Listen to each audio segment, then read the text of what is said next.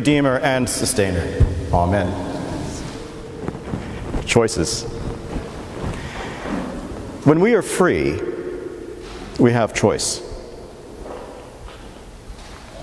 And in today's gospel lesson, Jesus invites us into freedom. He invites us to choose.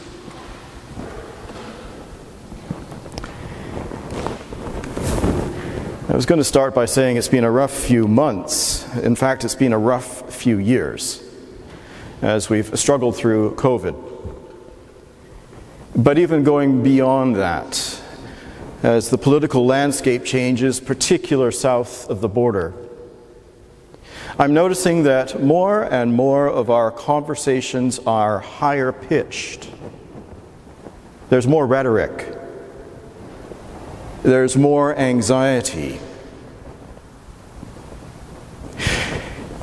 Even just this last week, in a few email exchanges and in a few conversations, I noticed that we're barely hanging on to agreeable conversation, dignified and decent conversation. We're sort of hanging on by the skin of our teeth, if you want, to try and continue to remain and kind and patient, listening, truly listening to each other. We're all struggling with it. The events of the last few weeks have pulled us again into a kind of trauma, I think. At least I feel traumatized. When I looked at the gun violence of a few weeks ago, of all those innocent children, I was traumatized once again. It was just over a year ago that we discovered that in the residential schools there were unmarked burial grounds.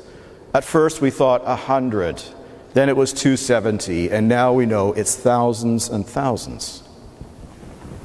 And the veneer of our polite Canadian society has been stripped away, and we're embarrassed, and we're ashamed, and we are traumatized, let alone what has happened to First Nations people.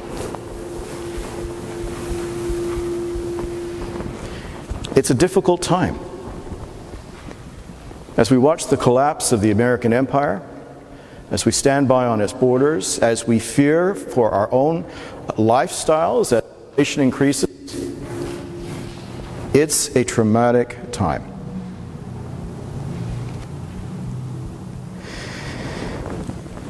And yet,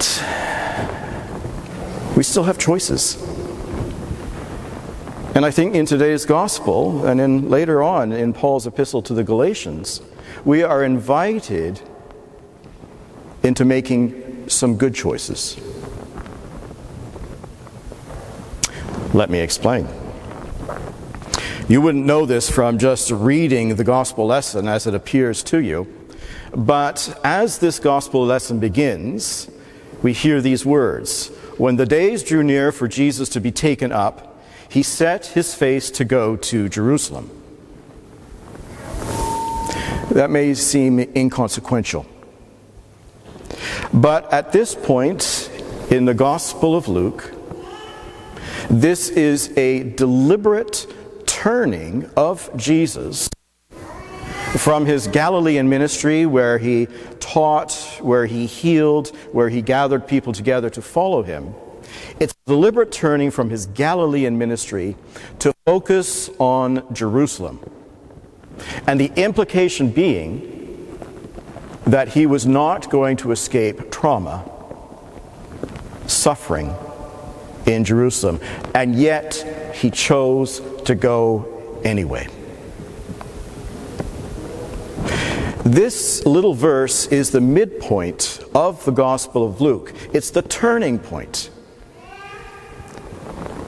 Jesus moves away from his home to a place of greater sacrifice and service. He's quite intentional. He has made a choice to do this.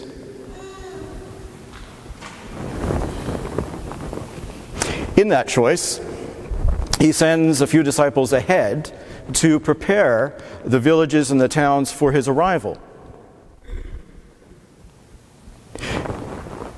A few of the, the, those who are preparing, a few of them go to a Samaritan village and they choose not to respond or receive Jesus, which is very unusual in a society that is marked by hospitality. But Jesus is rejected. But his choice, in contrast with his disciples' choice, James and John, his choice is to leave it be.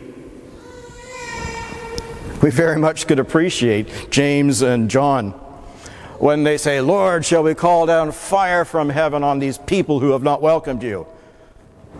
And Jesus basically says, Hush, hush. He rebukes them. Let them be. And Jesus chooses to let it go. And he admonishes his disciples that a course of violence and anger and vengeance is not what he is about. Jesus chooses to look past it and invites his disciples to look past it too. The passage goes on. And on one level, I don't really understand the series of questions and comments and riddles that Jesus kind of responds to the people he invites to follow him. But three times he asks people to follow him. One of them says, I will follow you wherever you go. And in a kind of riddle response, Jesus says, Foxes have holes and birds of the air have nests, but the Son of Man no head.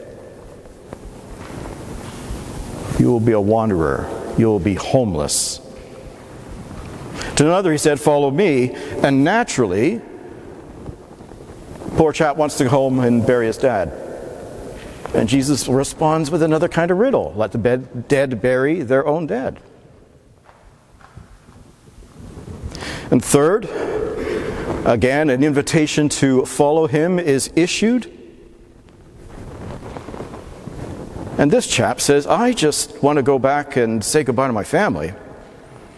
And Jesus responds by no one by saying no one who puts his hand to the plow and looks back is fit for the kingdom of God. On one level, I don't really understand what he means by these responses. But on another level, taken as a whole, I see them as this the choice to follow Jesus and follow a way of love above everything else. Everything else. Follow me. And as it says in the Gospel of Mark, immediately they got up and followed him.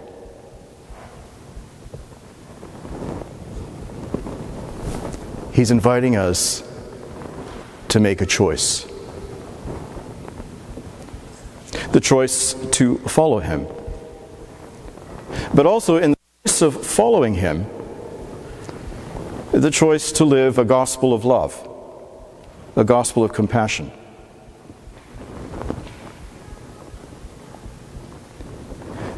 Sometime after Jesus' life, death, and resurrection, St. Paul wrote the letter to the Galatians, the people, the Christians who lived in Galatia.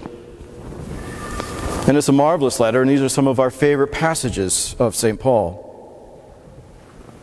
Because here we see that Paul is also inviting us to make a choice. To make a choice to live in the Spirit or live by the flesh. And St. Paul fills out what those things mean.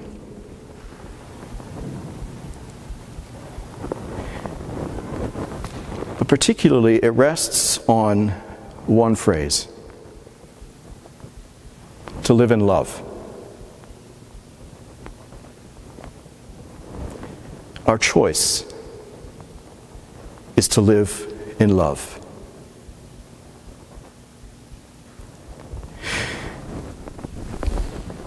It appears in our civil society, particularly this week, that choices have been taken away, particularly for women.